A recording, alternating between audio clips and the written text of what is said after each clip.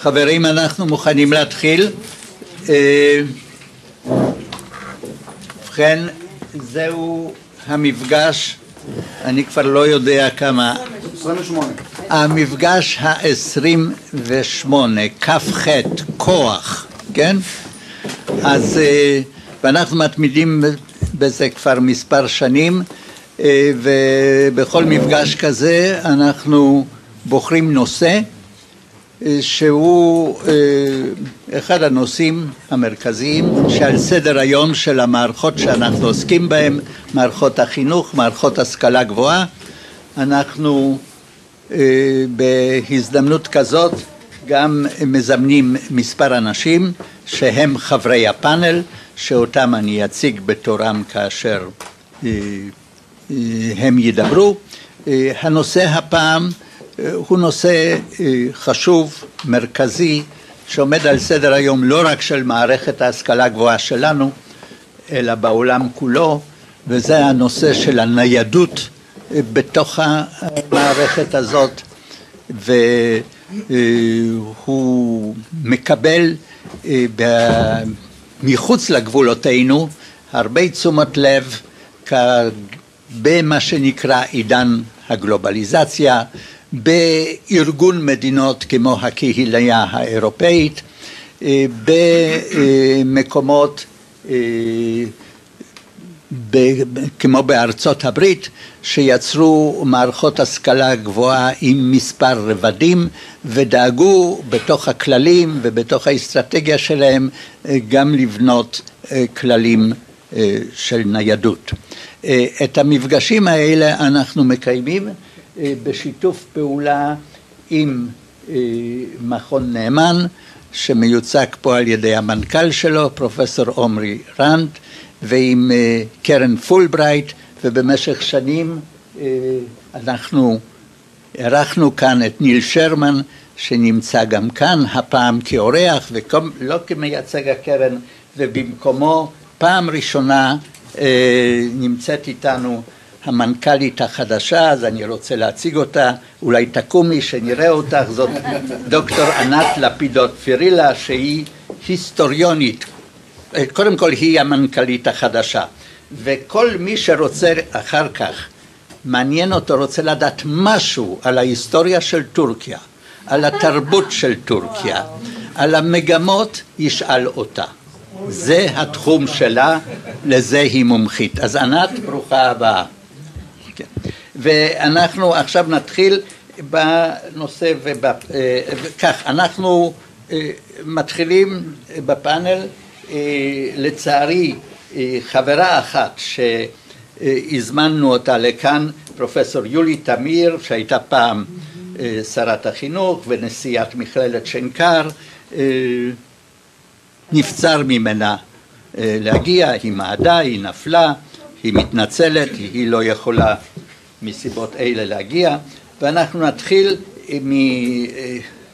מפרופסור חגית מסר ירון שיושבת כאן לצידי, שהיא סגנית יושב ראש המועצה להשכלה גבוהה, פרופסור להנדסת חשמל באוניברסיטת תל אביב, היא מייצגת את הרגולציה, את הרגולטור בנושאים האלה ואני מבקש ממנה להתחיל. כן, תודה רבה. קודם כל, אה, אני מרגישה בבית בפורום הזה, יש כאן הרבה חברים, אז תודה שהזמנתם אותי. אה, כיף להתראות. אה, הנושא אכן נושא חשוב. אני נחתתי מסין לפני שעה וחצי, שעתיים, שזה בדיוק מתקשר לנושא הניידות, לפחות ברמה הבינלאומית, ומה שאני התבקשתי אה, להגיד היום, או מה שאני בחרתי להגיד, זה קודם כל להגיד מה נמצא תחת הכותרת, ניידות בהשכלה גבוהה, יש לזה הרבה ממדים, ואחר כך אה, להגיד איפה אנחנו רואים את הממשק של מל"ג ות"ת עם הנושא הזה, ואני מניחה שאחר כך אולי אני ארשום לעצמי מה עוד אנחנו צריכים לעשות, אבל אה, זה אני מקווה שיהיה פתיח מתאים לשיח הזה. אז כפי שאמרתי כשמדברים על אה, ניידות בהשכלה גבוהה יש אה, היום מגוון שלם של רכיבים ומרכיבים מה כלול תחת אה, המילה ניידות יש מרכיב גיאוגרפי אם אנחנו מדברים על ניידות בתוך המדינה או בינלאומית. זה שתי סוגיות שונות ואפשר להתייחס אליהם אה, בשני הממדים האלה. אני חושבת שדווקא חנוך בכמה מילות פתיחה שלו דיבר בעיקר על ניידות בתוך המדינה בין מוסדות אבל uh, היום יותר ויותר רלוונטי לדבר גם על ניידות בהשכלה גבוהה בהיבט הבינלאומי כפי שאמרתי זה מתקשר ל... אני עוד תחת הרושם של uh, הסיני שהם סיפרו כמה סטודנטים סינים היום נמצאים ברחבי העולם במימון מלגות של ממשלת סין למישהו יש מספר?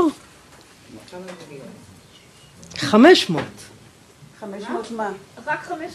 לא, 500 אלף, 500 אלף, 500 אלף, 500 אלף, לא לא, אה, שזה הרבה אה, סטודנטים, כן? אה, מתוכם 300 אלף רק בארצות הברית, אז זה באמת כבר מסה משמעותית.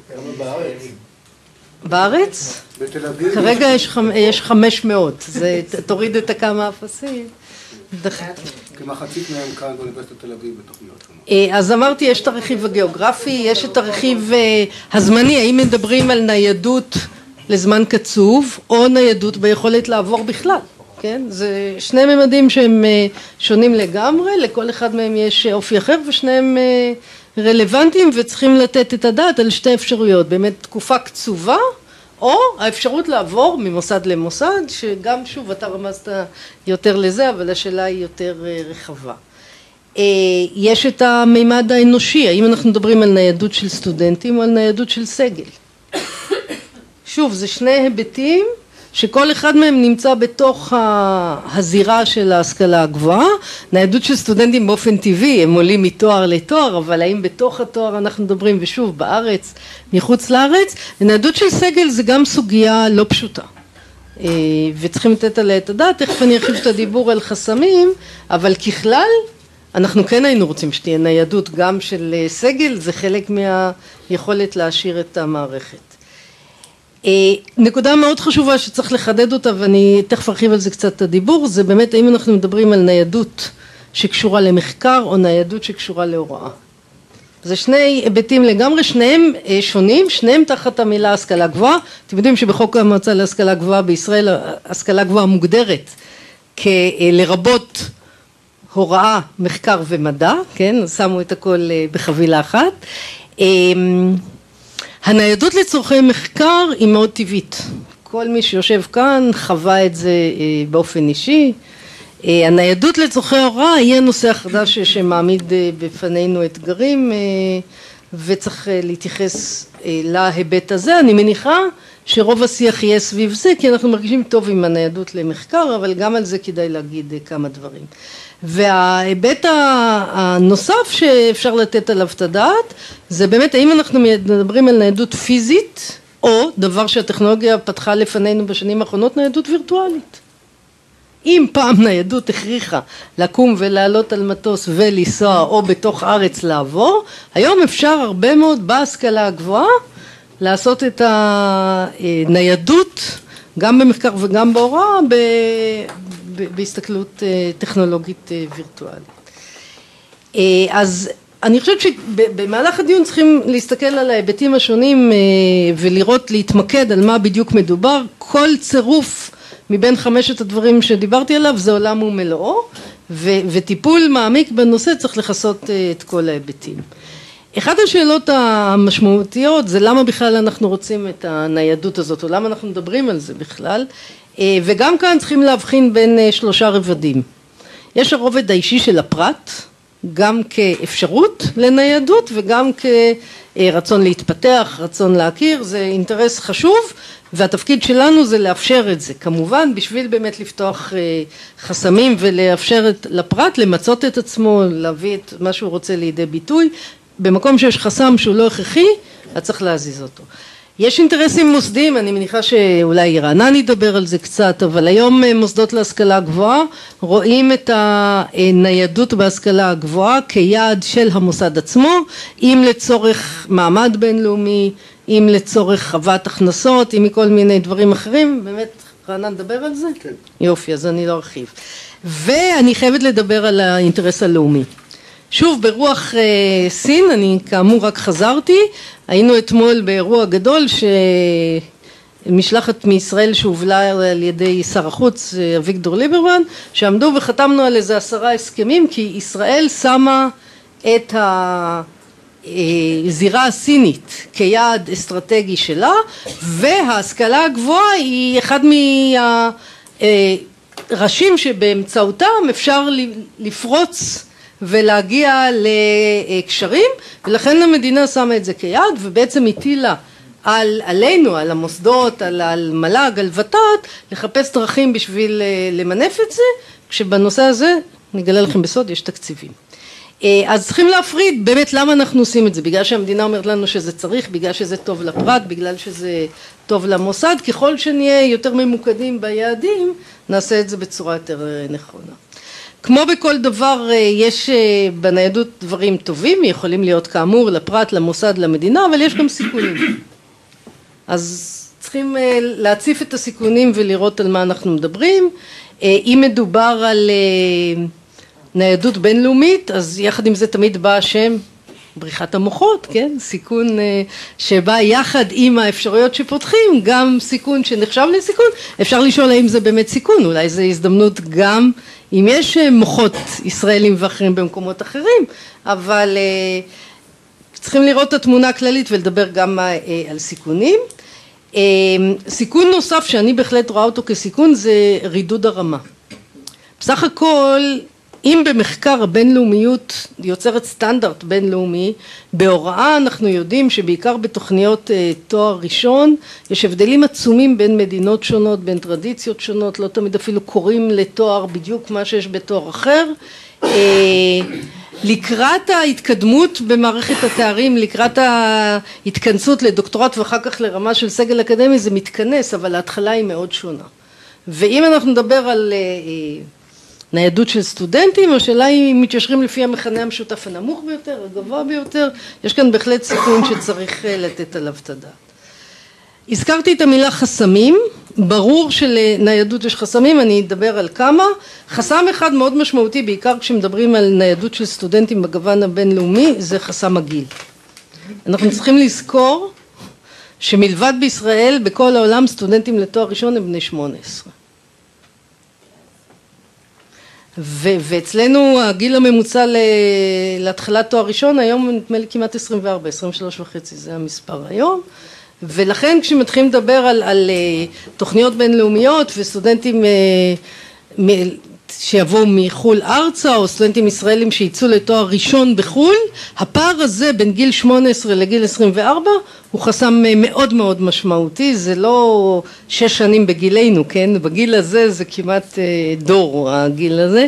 ולכן צריכים לראות איך מתמודדים עם זה והאם זה בכלל ריאלי לדבר על תוכניות בינלאומיות לתואר ראשון. האם לא ניצור כאן איים שבתוכם ישבו קבוצה של ילדים בכיתה של מבוגרים או כל מיני דברים מהסוג הזה.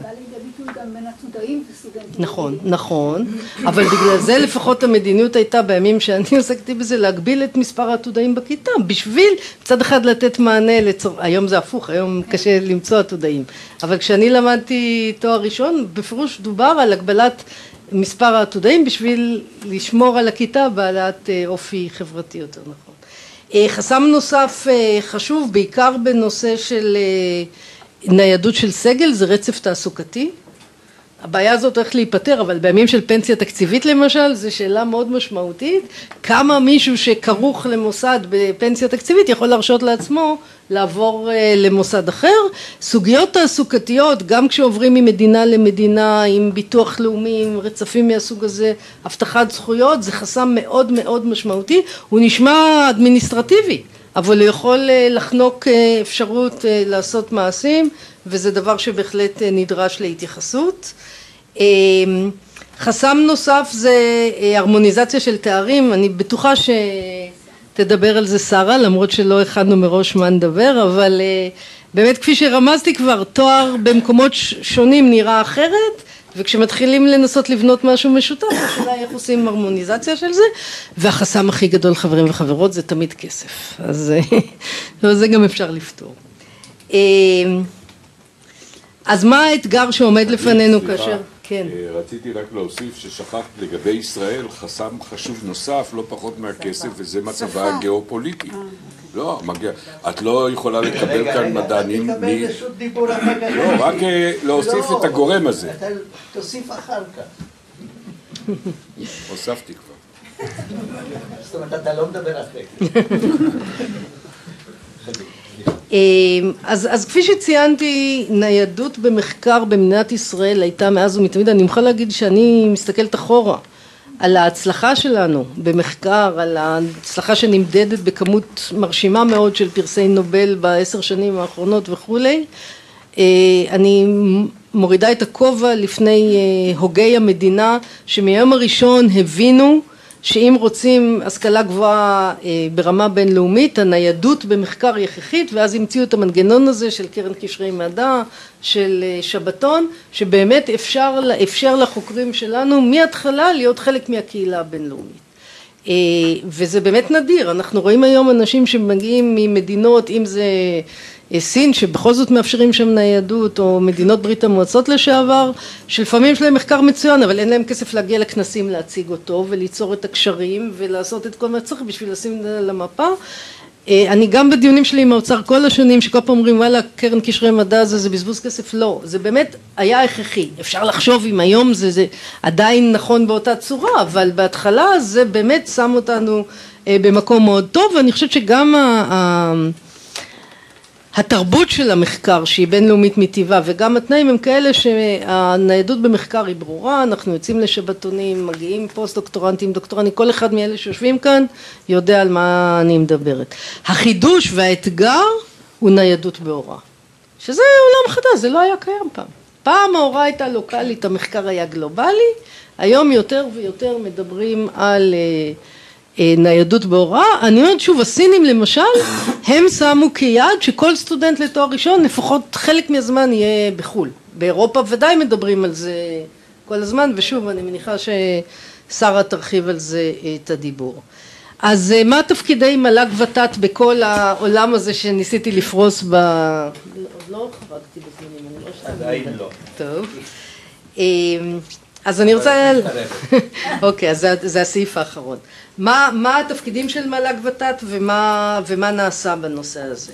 אז מל"ג שהוא הגוף היותר רגולטורי, הכסף בות"ת אתם יודעים, מל"ג עשה שני דברים חשובים בעיניי, מצד אחד עשינו, התחלנו לעשות הרמוניזציה של תארים, יצאה החלטת מל"ג לדעתי לפני שנה וחצי כבר, שקבעה בדיוק איך אפשר לבנות תואר משותף עם מוסד בחו"ל, שזה בעצם מאפשר לעשות את אותה תארים משותפים או תוכניות משותפות. ובעיניי זה צעד ראשון גם זה וגם החלטת מל"ג שהייתה על הוראה בשפות זרות שהסדירה שאם מוסד להשכלה גבוהה רוצה ללמד לא בעברית אלא בשפה אחרת יש היום החלטה מסודרת שאומרים להם איך. אני אומרת גם בפורום הזה ואני אומרת את זה בפורומים נוספים אם יש עוד חסמים מהסוג הזה חסמים רגולטוריים לשיתופי פעולה שמוסדות רוצים לעשות בתוכניות לימוד רק תגידו לנו התפקיד שלנו זה לפתור אותם זה מה שהיה על השולחן זה מה שעשינו עכשיו מישהו העלה את הנושא של דוקטורט משותף גם את זה נבחן אבל זה נושא מאוד מאוד חשוב. הנושא השני שמל"ג הולך להיכנס אליו עוד יותר לעומק בזמן הקרוב מל"ג כארגון הפעם זה עזרה באדמיניסטרציות של ויזות גם כאן כבר נעשתה, נעשה מהלך היה שינוי בתקנות לדעתי זה הדבר האחרון שגדעון סער חתם עליו לפני שהוא פרש מתפקידו כשר הפנים שמאפשר לסטודנטים זרים שמגיעים ארצה גם לעבוד במוסד שבו הם עובדים זה, זה חידוש אבל זה לא מספיק חייבים להסדיר את ה... משה הציג לי את הנושא הזה לפני הרבה שנים אני זוכרת אפילו. זה עוד לא זה עוד לא, זה עוד לא נפתר והדרך שלי וזה מה שאני מנסה להוביל עכשיו וכנראה שיש לנו סיכוי טוב שזה יקרה לעשות תקנות מיוחדות למוסדות להשכלה גבוהה. שיפתרו את הבעיה גם של סטודנטים גם של סגל גם של בני בנות זוג שזה גם בעיה אתה לא יכול להביא אנשים ולא לאפשר לבני או בנות הזוג שלהם לעבוד. אז עכשיו אנחנו, יש לנו פרויקט, שמתי פרויקטור מתוך המנהל של מל"ג ות"ת, דבר עם רשות האוכלוסין, משרד החוץ תומך, גופים אחרים, זה התפקיד שלנו, אנחנו יושבים שם בירושלים בשביל לעזור בדברים האלה ואנחנו בהחלט מחויבים. אה, בהסתכלות אה, הוות"תית יש אה, תוכניות נקודתיות ומשאבים לדברים שהוגדרו כיעדים, למשל הודו סין, ששם יש תוכניות גם למלגות, גם למחקר, זה בהקשר של הוראה. ות"ת עוזרת הרבה בתקציבים לנושא של תשתיות מחקר שרובם ככולם התשתיות הגדולות של מדע גדול נמצאים בחו"ל כמו השתתפות בסרן או גופים אחרים, גם כאן זה הדברים שלא נפתרו על ידי קרן קשרי מדע ושבתונים למחקר, עדיין מעורבות של ות"ת היא חשובה. אה, וגם אם אתם לא יודעים הכספים ל-ISF, לתוכניות של הקרן הלאומית למדע הבינלאומיות גם הם עוברים דרך ות"ת אז כל הדברים האלה זה מה שנעשה בטוח שיכול שיעשה עוד אבל בפירוש אנחנו רואים את עצמנו גם במל"ג וגם בות"ת כ facilitators כ enablers וככל שמגיעות בקשות מהשטח גם במחקר וגם בהוראה אנחנו מנסים לתת להם מענה. זהו. תודה, תודה חגית. והמשתתף הבא בפאנל הוא פרופסור רענן ריין. שהיום הוא אה, נשיא, אה, סגן נשיא באוניברסיטת תל אביב מופקד על הקתדרה ללימודים איבריים ולטינו אמריקאים על שם סורסקי כתב ספרים רבים בנושאים של ההתמחות שלו אני רואה שהספר האחרון שלו שיצא ב Stanford University Press שעוסק בזהות אתנית, השתלבות חברתית, תוך התמקדות במקרה של יהודי ארגנטינה וכל זה ממוקד, הספר עוסק בכדורגל, אז זה עולה על דעתי שהוא היה יכול להיות משוריין אחרי שכדורגלן אחר פרש. אף אחד לא הצליח. כן. ובכן רענן, תורך. אה, תודה רבה, אני מניח שדיון כזה... יותר נוח לך. אה, זה בסדר גמור. אני מניח שדיון כזה אה, אי אפשר שלא להתחיל כמובן עם ארסמוס לפני כל אחד אחר, אותו הומניסט הולנדי, בנו הבלתי חוקי של כומר, שמוכר מחיבורים רבים, אולי ראשית לכל שבחי הסכלות, ומי שהיה זרז לרפורמציה הפרוטסטנטית במאה ה-16. ולמה להתחיל איתו? לא רק בגלל תוכנית ארסמוס שנדבר עליה בעוד דקה או שתיים, אלא משום שהוא למד תחילה בבתי ספר של הכנסייה בארצות השפלה, אחר כך באוניברסיטת פריז, ואחר כך באוניברסיטת אוקספורד, ואחר כך באוניברסיטת אה, באזל. כלומר, ניידות של סטודנטים אה, בין מוסדות של השכלה גבוהה לא התחילה עם תוכנית ארסמוס של שנות, סוף שנות התשעים של המאה, אה, סוף שנות השמונים, כמדומני, של המאה החולפת, אלא עם ההומניסט ההולנדי עצמו. ולאנשי המדעים הקשים במרכאות שמכם אפשר להתחיל את השיחה הזאת עם קופרניקוס, שגם הוא אותו מתמטיקאי ואסטרונום וכלכלן אה, אה, פולני בעצם נע אה, בתוך המרחב האירופי בין הזמן כאשר הוא מפתח את התזות המרכזיות שלו בעיקר באיטליה אבל לא רק שם. ניידות בהשכלה הגבוהה נראה, נראית לי בעלת חשיבות מרובה ויש בה ערך מוסף עצום, אקדמי, מחקרי, אבל לא פחות מכך גם תרבותי וזה עניין שחשוב שיהיה כאן חלק מן דיון, החשיפה של סטודנט ליותר מסביבת לימודים אחת עשויה להפרות את מחשבתו, מחשבתה, לשחרר אותו מלא מעט כבלים, כלומר לעודד גמישות מחשבתית, יצירתיות ועצמאות. אבל כפי שאמרה חגית, השאלה במה למקד את הדיון כאשר אומרים ניידות, איזה ניידות, מה המשמעות שלה, מה המחירים שכרוכים בה. זה לא שהניידות כשלעצמה היא ערך, ונכון, היא לא מבטיחה בהכרח איכות חגית, אבל עשויים להיות לה ערכים מוספים משמעותיים. הדיון אבל יהיה משמעותי במיוחד כאן לדעתי אם נשתמש בו כזרז לחשוב על הקשר המתרופף בין המוסד המעניק תואר לבין הקורסים השונים שלוקחים תלמידים וחגית התחילה ללכת בכיוון הזה. היום מתחיל, מתחילה להיווצר מציאות שיכול לבוא סטודנט או סטודנטית עם סל של קורסים שנלקחו במוסדות מצוינים, בין אם באופן מסורתי ובין אם באופן מקוון, ואיך אומרים, כמעט שלא יעלה על הדעת שלא להכיר בקורסים האלה, ואולי נכון יותר להתחיל ולחשוב במושגים של איזה חלק מינימלי מתוכנית הלימודים צריך סטודנט ללמוד במוסד מסוים כדי שאותו מוסד ייתן לו תואר, בין אם מדובר על מספר השעות ובין אם מדובר על סוג הקורסים, נאמר סמינריונים, מעבדות או משהו מן הסוג הזה, אבל לא נכון יהיה להמשיך ולחשוב במושגים שסטודנט חייב ללמוד לפחות 80% מן התואר שלו במוסד מסוים כדי שאנחנו למשל באוניברסיטת תל אביב ניתן לו תואר בוגר או תואר מוסמך של האוניברסיטה שלנו. אז כן צריך להבדיל בין המישור של ניידות בין המוסדות הישראליים כאן בארץ והמישור האחר של ניידות בין מוסדות מחקר ישראלים לבין אוניברסיטאות בחו"ל. לגבי תלמידי תואר ראשון זה סיפור אחד, תלמידי תארים מתקדמים זה כמובן סיפור אחר. אני מוצא קצת סתירה בין החשש שמעלה חגית מן האיכות והרמה כאשר מדובר בקורסים ממוסדות אחרים, בשעה שלמשל בתוך הזירה הישראלית יש ניסיון לכפות איזושהי אחידות בין מוסדות בין אוניברסיטאות המחקר לבין המכללות, כלומר תואר ראשון ממכללה אני אמור לנהוג בו באופן שווה זהה לתואר ראשון מאוניברסיטת מחקר ישראלית אחרת, אבל אם זה מאוניברסיטה אירופית שהיא בתוך אחת מתוכניות ארסמוס, אז לכאורה אני צריך לחשוש יותר מן האיכות והרמה של התואר הזה. במציאות הישראלית כאשר המרחקים הגיאוגרפיים קטנים כל כך, כמובן שאחת הדרכים לחשוף תלמידים בפני סביבות לימודים שונות זה באמצעות תוכניות לימודים משותפות לתואר.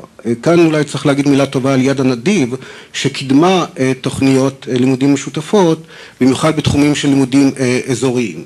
אתם כולכם יודעים למשל שלימודי אפריקה מזה כחמש או שש שנים הם בעצם לימודים משותפים לאוניברסיטת תל אביב, אוניברסיטת בן גוריון והאוניברסיטה הפתוחה ויש שם קורסים היסטוריים ופוליטיים ואנתרופולוגיים ודתיים וכולי. אבל סוג כזה של תוכניות, יש גם תוכנית משותפת בלימודי רוסיה ומזרח אירופה שבה שותפות חמש אוניברסיטאות המחקר בתוכנית אחת. צריך להעלות גם מחשבות לגבי הרישום לאוניברסיטאות כאשר יש, אני מקווה שיהיו יותר תוכניות לימודים משותפות לתואר, אולי צריך רישום ארצי מרכזי לסטודנטים של תואר ראשון ולא מערך מרשם נפרד לכל אחת מן האוניברסיטאות. כשמדברים על תוכניות משותפות בארץ, במיוחד בתואר השני והשלישי, דוגמה אחרת זה MA המחקרי והדוקטורט בכלכלה שמשותף היום לאוניברסיטת תל אביב והאוניברסיטה העברית. זה בסך הכל מתנהל טוב, אם כי יש גם כאן כמה בעיות, חלקן בירוקרטיות, אדמיניסטרטיביות, ואפשר לראות איך פועלים בכיוון הזה. אבל פה זו יוזמה של שני בתי ספר לכלכלה חזקים, מובילים לשתף פעולה, לא בדיוק תוכניות תואר שלישי של אוניברסיטאות ומכללות, יוזמה שניסו לקדם מלמעלה ולשמחתי לא, לא צלחה. ניידות משמעותית יותר, ודאי אם אנחנו מדברים על ההיבט התרבותי של ניידות, היא זו שמתרחשת בזירה הבינלאומית. semester abroad עבור סטודנטים אמריקאים זה מושג שקיים כבר עשרות בשנים. מספר עצום של סטודנטים אמריקאים יוצא למדינות שונות כדי ללמוד. אני נמצא בקשר הדוק מאוד במסגרת תפקידי עם NYU, שאני אחזור אליה בהמשך. רק לגאנה הם שולחים כל סמסטר כ-400 סטודנטים, כן? שלא לדבר על יעדים יותר פופולריים כמו לונדון, פירנצה או פריז. ובאירופה כל התוכניות של ארסמוס, ארסמוס מונדוס, טמפוס, שהן כולן תולדה של תהליך בולוניה, מאפשרות לסטודנטים אירופים לנוע בחופשיות ברחבי היבשת, יש יותר מארבעת אלפים מוסדות אקדמיים במסגרת התוכנית הזאת מיותר משלושים מדינות. ככל שהדברים נוגעים אלינו, אנחנו מצליחים אומנם למשוך יותר סטודנטים לתואר ראשון לכאן, אנחנו שולחים מעט מדי סטודנטים שלנו החוצה. ואחד האתגרים הגדולים שפה הנהלות האוניברסיטאות, מל"ג, צריכים לעודד, זה יציאה של סטודנטים שלנו החוצה. אני חייב לומר שאני אינני מודאג מענייני הגיל. אני אינני רואה בעיה שסטודנטים בני גילאים שונים בחברה המערבית הנוכחית עם תהליכי ה-lifelong learning ישבו זה לצד זה בני 35 עם בני 19 עם תלמיד תיכון מבריק בן 15 אני לא רואה בזה בעיה למרות שיש חשיבות לאינטראקציה החברתית של הלימודים בתארים השונים. המספרים של סטודנטים ישראלים שיוצאים החוצה בין אם זה לארה"ב ובין אם זה לאירופה במהלך התואר הראשון הם זעומים וזניחים. זה קצת מטריד זה קצת מחייב איזושהי פעולה.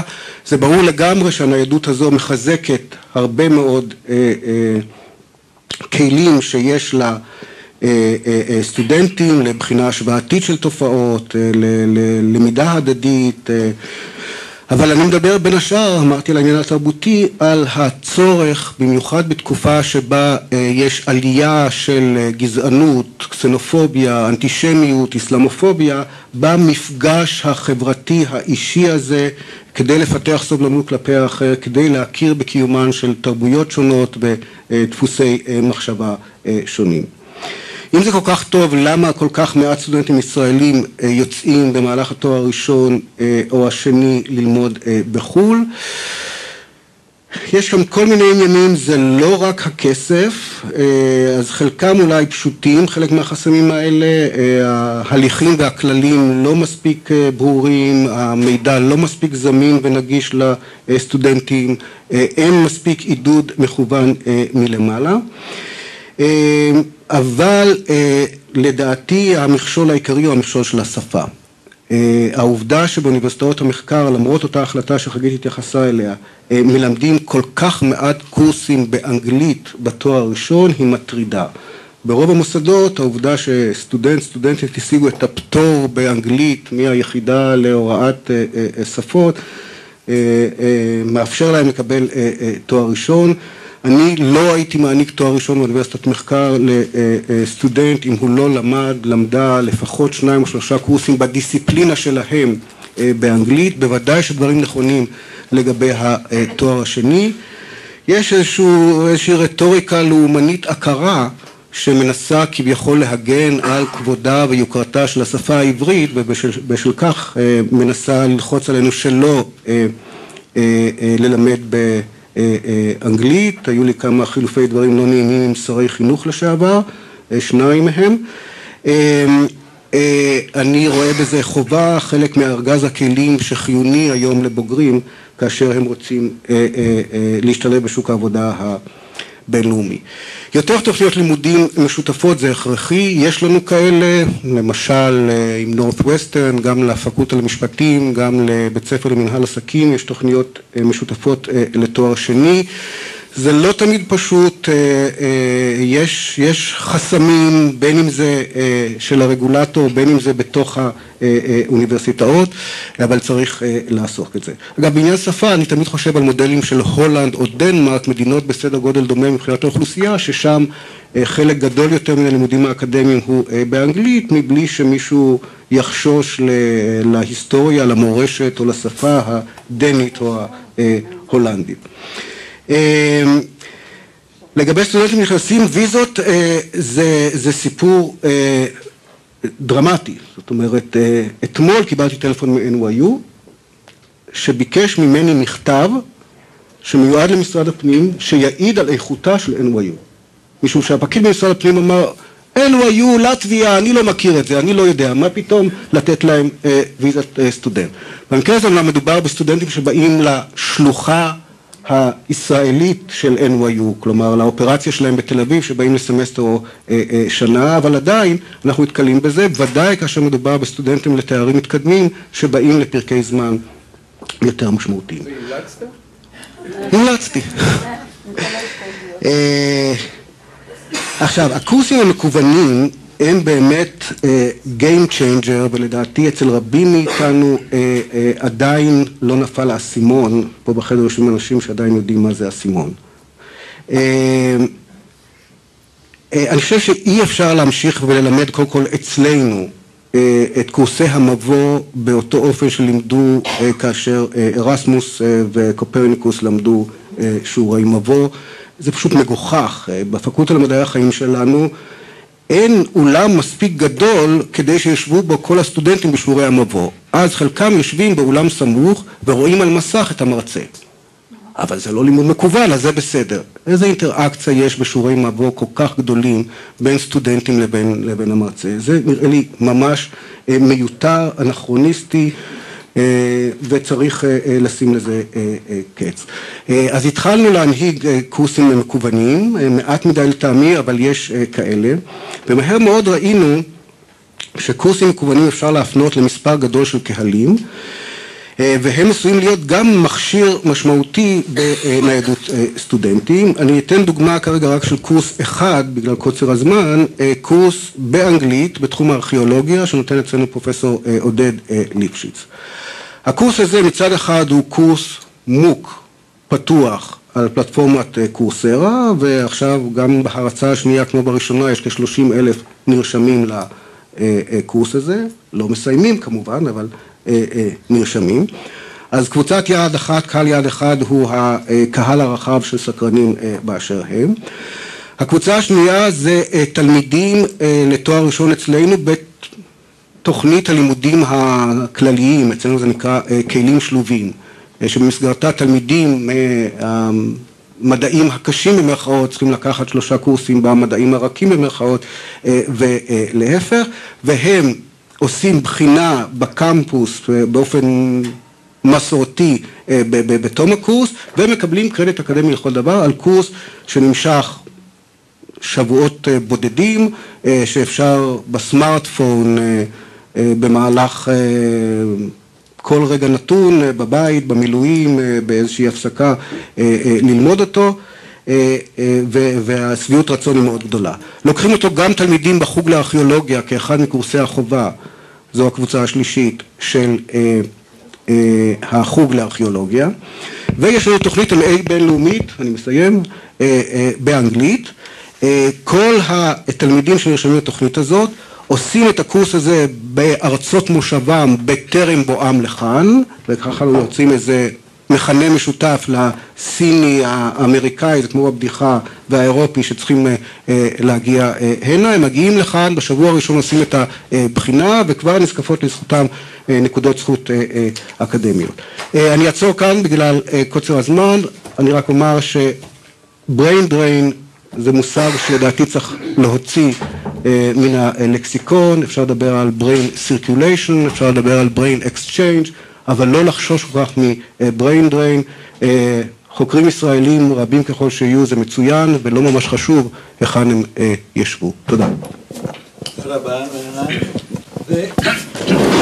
והדוברת האחרונה, שרה גורי רוזנבליט, שכבר השתתפה בדיונים כאלה מספר פעמים, היא לא חדשה ו...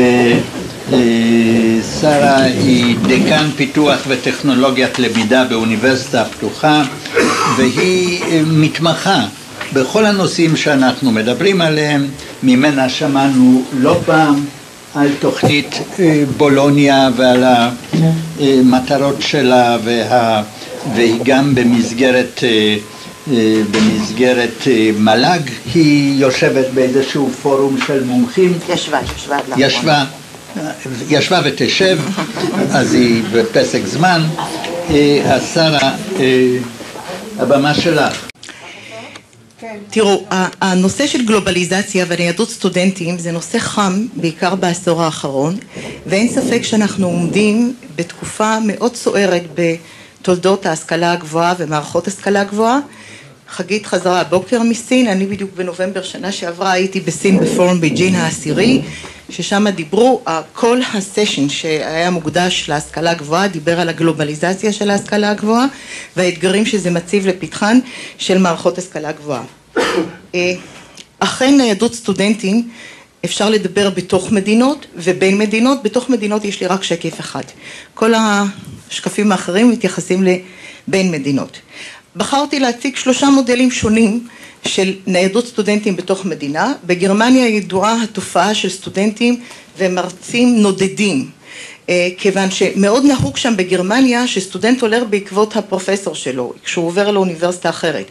גם לא רק זה, יש שם תופעה שמי שגומר את הביליטסיון אחרי הדוקטורט כדי להיות פרופסור אסור לו להישאר באותה אוניברסיטה כך שאתה יכול לראות סטודנטים שיש להם בתוך תעודת הגמר שלהם ציונים משלוש, ארבע, חמש אוניברסיטאות זו תופעה מאוד ידועה בגרמניה והקרדיטציה שם מאוד מאוד ברורה. קליפורניה ש... חנוך אה, בהחלט הזכיר, שם לא רק בקליפורניה, אבל בקליפורניה מאוד מפורסם ה-3 tier system, אה, שכרגע שלדון שפגשתי אותו בדיוק לפני חודש, הוא היה כאן לחגוג בר מצווה של נכד שלו, אמר שכרגע זה לא היה עובר התוכנית הזאת, אבל היא עברה בשנות הש... אה, כן, כן בדיוק, היא עברה בשנות ה-60, אבל לא חשוב, יש שם הסכם בין community colleges, בטרק של האקדמי community colleges, שבין 10 ל-15 אחוז מסטודנטים ב-community college שיש איתם הסכם, יעברו לא סתם לאוניברסיטה של ברקלי לדוגמה, אלא לשנה שלישית של האוניברסיטה של ברקלי, אבל גם כאן למען ההגינות אפשר לומר שבארצות הברית קצת יותר קל לעשות את זה כי התואר הראשון הוא ליבור ארט אז הוא תואר מאוד מאוד אה, רחב ויש שם את המייג'ור והמיינור אבל עדיין זה לא תואר מתמחה כך שקל יותר לעשות את המעברים. והדוגמה השלישית והאחרונה בהולנד שם יש אה, תוכנית מאוד מאוד מעניינת. יש להם כמו הפך שולה בגרמניה גם אני לא יודעת לומר את זה בהולנדית זה שם שובר שיניים אבל זה כמו הפך שולה בגרמניה. אז יש להם הסדר עם כל הסקטור שמכשיר להכשרה מקצועית של מינוס שנה, או אם תרצו זה פלוס שנה. כלומר, אתה מתחיל בתוך המסלול של נניח הפך שולה, ואם אתה רוצה לעבור לאוניברסיטה, אתה עובר לשנה ראשונה באוניברסיטה. אבל אם גמרת שנתיים במסגרת המקצועית, אתה עובר כבר לשנה אה, אה, שנייה באוניברסיטה וכך הלאה, כך שזה מאוד מעניין, כך שיש חוקים שונים במדינות שונות. ועכשיו אני עוברת לעיקר ההרצאה, לכל הנושא של ניידות סטודנטים בין מדינות. קיימת תופעה כיום שהולכת להתעצם בגדול ההערכה היא שיש כיום למעלה משלושה מיליון סטודנטים שלומדים מחוץ לגבולות מדינתם ורק הסינים מהווים חצי מיליון. הצפי הוא שעד 2020, זה לא כל כך הרבה, זה עוד חמש שנים, יהיו שמונה מיליון סטודנטים כאלה שמוגדרים כ-Transnational Students. חלק מהתופעה מעודדת על ידי מדינות, דוגמת אוסטרליה, שממש נותנים כספים רבים כדי שיהיו להם Transnational Students והם אה, רוצים להגיע עד 2020 למיליון סטודנטים שיבואו ממדינות אה, אחרות, לאוסטרליה. בעיקר אחרי ספטמבר 11 שהיה הגבלה להיכנס לארה"ב הם ניצלו את זה ומאוד מאוד מפרסמים את הנושא של אוסטרליה. יש העסקת סוכני גיוס שעל זה יש ספרות די ענפה בספרות של higher education אם זה לגיטימי או לא שאוניברסיטאות ממש אה, מכשירות ומגייסות סוכני גיוס שנוסעים בעיקר להודו וסין כדי לגייס סטודנטים שיבואו לאוניברסיטאות שלהם. זה מקצוע שמקבלים על זה כסף פול טיים ג'וב זה מבחינתם לפני שנה פחות משנה במרץ שנה שעברה היה כנס על Global Higher Education שמי שהוביל את זה זה אוניברסיטת בלקן, בל, אה, בל, קינט בטורקיה וטרייר בגרמניה. וזה התקיים במלון דן וההרצאה הראשונה נתן אה, הנשיא לשעבר של אוניברסיטת אה, קורנל והוא אמר שהוא חושב שזה העתיד של ההשכלה הגבוהה שאוניברסיטאות שלא ייכנסו לביזנס של גלובל אדיוקיישן הם יהיו בכלל בצדדים של מערכות השכלה הגבוהה ושהם בקורנל השקיעו המון המון אה, כספים כדי לעשות את ה... גלובליזציה של האוניברסיטה.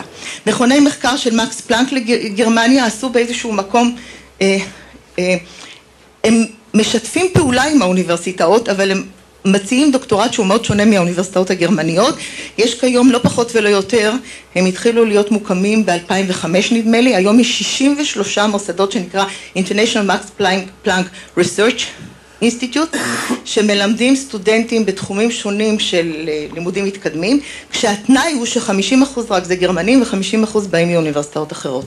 ושם אין אביליטסיון, זאת אומרת הם מלמדים בשיטה של structured PhD כמו בארצות הברית.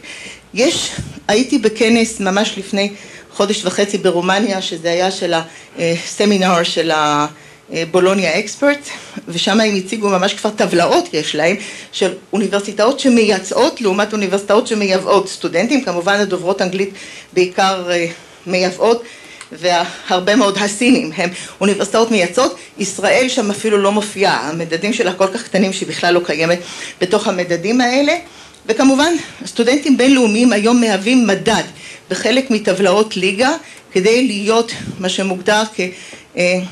אה, World Class University, אתה צריך לעמוד בתנאי ש-30% מהסטודנטים שלך ו-30% מהסגל המלמד הם בינלאומיים, מה שבארץ זה לא, לא, לא קיים. מה זה סגל בינלאומי? אה, שבא מארצות אחרות. תקופה קצובה. כן, כן, כן, אבל בזמן נתון מלמדים אה, ממישהו מאנגליה וארצות הברית וספרד וכל הזה. שלוחות. תראו, אוניברסיטאות יוקרתיות מקימות שלוחות בסינגפור, בקטר, בסין, בנסיכויות המפרץ ועוד. ויש גם מיזמים של אוניברסיטאות פחות יוקרתיות. כשהכנתי את השקפים, עוד לא ידעתי משהו שכרגע אני הולכת לספר, שיש מיזם מאוד מרתק ומעניין של יוסי ברקלי, שהתפרסם ב... בעיתון, בדיוק שבוע לפני שבוע, ב-23 בינואר 2015, שהם הולכים, UC Berkeley, לא ה-UC הכולל, אלא UC Berkeley, הולכים להקים global campus בריצ'מונד, זה עורר בי נוסטלגיה, כי אני זוכרת בשנות ה-80 כשלמדתי בסטנפורד, אז בריצ'מונד היו קונצרטים נהדרים בסופי שבוע של ג'אז עם cheese and wine, אבל הם הולכים להקים שם global campus עם אוניברסיטאות מובילות מכל העולם, ועם אה, גם חברות טכנולוגיות, כולל מה שהם קוראים לזה גם global college, כי להם אין בעיה לקרוא קולג', כי קולג' ואוניברסיטה אין, אין הבדל אה, בארצות הברית, ל undergraduate ו graduate, וה chancellor שלהם, שקוראים לו, רשמתי גם איך קוראים לו, ניקולס דירקס, אמר שהוא עוד לא אומר עם איזה אוניברסיטאות, אבל הוא כבר יצר קשרים עם סינגפור, אוניברסיטאות ביפן וסין, והוא נמצא בדרכו לקמברידג' באנגליה. וכל הרעיון שזה גם יהיה האב, גלובל האב, גם בתחום מחקר, שעל זה אני לא מדברת, אבל גם בחינוך, ושוב 50 אחוז יהיו אמריקאים, 50 אחוז יבואו מהאוניברסיטאות האחרות, ומה שעוד יותר מרתק שקראתי על התוכנית בצורה יותר מפורטת, שזה לא סתם כל אחד ייתן את מה שהוא יודע, אלא הם רוצים בכלל להקים תוכניות חדשות, והתוכניות החדשות למשל יעסקו ב-Global Citizenship, שיכלול Global Governance, Global Ethics, Global Cultures, Global Thought, Global Challenges וכך הלאה. כלומר, זה לא רק לאסוף אנשים מאוניברסיטאות מובילות, אלא גם לבנות תוכניות לימודים שיהיו שונות לגמרי עם אוריינטציה גלובלית, שזה מאוד uh, מרתק.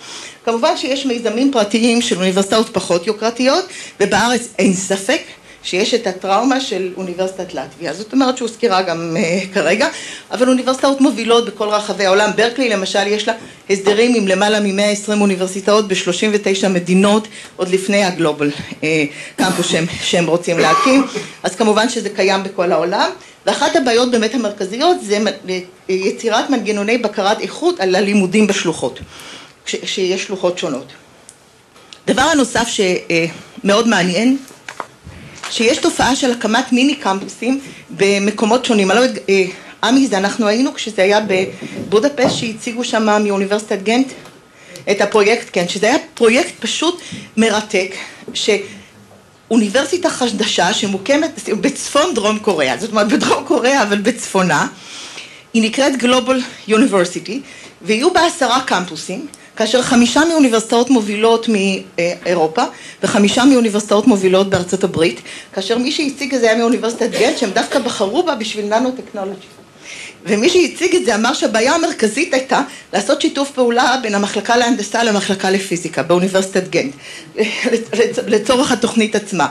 עכשיו האוניברסיטה תהיה מיני עשרה קמפוסים כאשר מישהו למעלה יהיה אחראי על כל הנושא של הסטודנטים שיושבים באותו קמפוס ומרצים מכל אחת מהאוניברסיטאות האלה יבואו לקוריאה לתקופה של חצי שנה עד שנה כדי להרצות את. אחד עם... כל אחת מהשותפות אה, אה, יכולה אה, לתת שם תארים בשלוש דיסציפלינות. זה הכל זה graduate גם, זה רק מ... לא, לא, זה גם undergraduate? כן. אז זה, זה מאוד, אז יהיה ארגון גג של ניהול האוניברסיטה הגלובלית ויהיו סטודנטים מקוריאה ורחבי העולם והמטרה המרכזית שם דווקא זה חיזוק תשתיות המחקר. כי שאלו את גנט למה הם עושים את זה, למה זה כדאי להם כי הם לא יקבלו כסף מהסטודנטים וזה אמרו כי נותנים לנו תנאים בלתי רגילים של מעבדות מאוד משוכללות וזה בתחום המחקר יש את התופעה כמובן שהוזכרה כאן של joint and double diplomas. יש כיום מאות joint and double diplomas שניתנים באירופה בעקבות תהליך בולוניה ובמקומות אחרים. מאוד מעניין, האמריקאים הרבה יותר ליברליים בקטע הזה.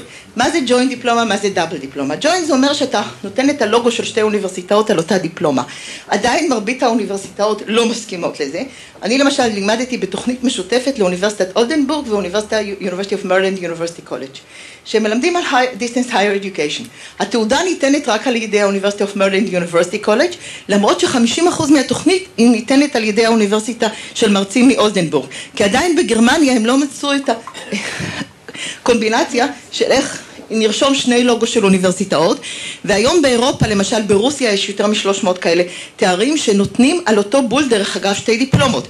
כי ברוסיה נותנים להם תעודה ואומרים חמישים אחוז זה נעשה באוניברסיטה הצרפתית ובאוניברסיטה הצרפתית נותנים להם את התעודה ואומרים חמישים אחוז נעשה באוניברסיטה הרוסית אז הם מקבלים שתי דיפלומות זה ה double diplomas אבל הלימודים שפעם זה היה מאה חמישים אחוז מהמאה וכיום זה אפילו מאה אחוז. הורידו את זה שזה מאה אחוז. אז הם מקבלים שתי דיפלומות על לימודים שנעשו באופן חלקי בשתי אוניברסיטאות שונות. אה, תוכניות ארזמוס מונדוס, תארים מתקדמים בעיקר, שמעצם התארים עצמם הם דורשים שזה יהיה לפחות עם שלוש ארבע אוניברסיטאות שהתואר ניתן, אני חושבת שהראשונים היו בחיפה על משפט בינלאומי, אבל יש עוד כמה אה, דוגמאות בארץ, אבל מעט מאוד. שיתוף פעולה כמובן מאוד מעניין של קורנל והטכניון. תהליך בולוניה אני כבר הרציתי על זה, כולם יודעים מה זה. אני רק אזכיר, תהליך בולוניה, יש כיום 47 מדינות שחתומות על התהליך, ישראל לא. אם יולי תמיר הייתה כאן, הייתה מסבירה, היא הייתה שרת החינוך, למה אנחנו לא. דרך אגב איזשהו וטו של האמריקאים, שאנחנו לא נחתום על הצהרה של זכויות אדם או משהו כזה, שזה חלק מהתנאי, ואנחנו, האמריקאים ביקשו שאנחנו לא נחתום, זה מה שהיא הסבירה, שזה אחד הדברים היה. ב-98 הייתה הצהרת סורבון של ארבע שרי חוץ של איטליה, גרמניה, צרפת ו... אה, צרפת ואנגליה, הצהרת בולוניה ניתנה ב-1999, נחתמה אז על ידי 29 מדינות, כיום יש 47 מדינות. מטרות תהליך בולוניה, חגית אמרה זה באמת הרמוניזציה, עכשיו בארץ אין, עמי יודע את זה, אנחנו היינו בוועדה במל"ג לפני המון שנים, יותר מ-15 שנה, שניסו, לא קרה עם זה שום דבר, שניסו לעשות חוק אקרדיטציה אפריורית, שמי שלומד באוניברסיטת תל אביב אוטומטית יוכר באוניברסיטה העברית וחיפה וכך הלאה, לא יצא עם זה שום דבר. באירופה עם 47 מדינות, ברור להם כמה נקודות הם יקבלו בכל אוניברסיטה ש-47 המדינות שחתומות אליה. אז זה אחד האתגרים שעומדים לפתח ההשכלה הגבוהה. ללא ספק. עידוד ניידות של סטודנטים, סגל אקדמי ותוכניות לימודים, וכמובן יצירת מערכות השכלה אה, חזקות שיכולות להתחרות, שתי מטרות יש לזה, גם להאדיר ולהגביר את האיכות של אירופה וגם להתחרות עם ארצות הברית, שזו הייתה הצהרה ממש ברורה של תהליך בולוניה אה, לעומת החוזק של מערכות ההשכלה הגבוהה של ארצות הברית.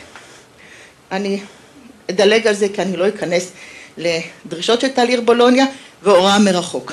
אין ספק יש כיום אוניברסיטאות שמלמדות, ההערכה היא שמתוך בערך כ-200 מיליון סטודנטים שיש היום בעולם, 15% לומדים בדיסטנס אדיוקיישן, כש-50% מהם לומדים באוניברסיטאות שהמטרה שלהם היא ללמד מרחוק, אבל 50% גם לומדים בכל מיני מסגרות אחרות של הוראה מרחוק, כמו המוקס שיש כיום וקורסים מקוונים שמוצעים גם על ידי אוניברסיטאות קמפוס, אין ספק שצריך להתמודד עם זה, לא רק אצלנו, בעוד מקומות מרימים קצת גבה לגבי שאתה אומר שלמדת תואר של אוניברסיטה שהיא אך ורק של הוראה מרחוק, אבל אין ספק שיצטרכו להתמודד עם זה, אוניברסיטאות דואליות הן אוניברסיטאות שמלמדות גם וגם, וכמובן שלוחות של אוניברסיטאות קמפוס והמוקס שקיימים, והאתגרים, וזה השקף האחרון כמעט.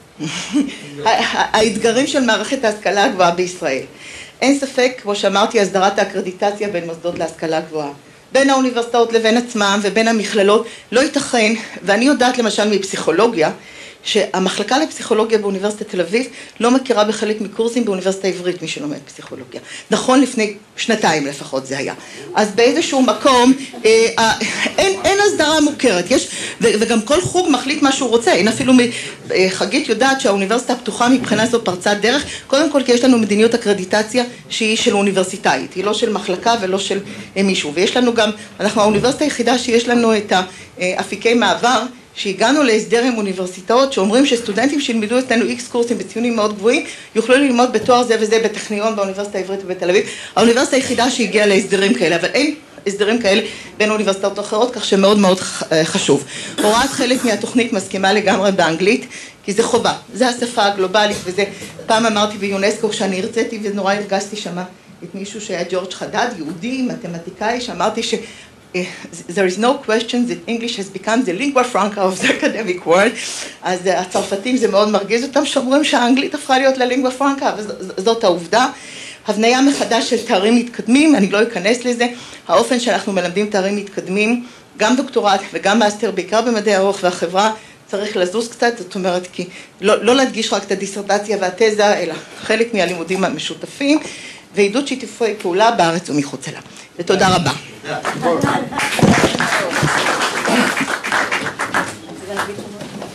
טוב, אה,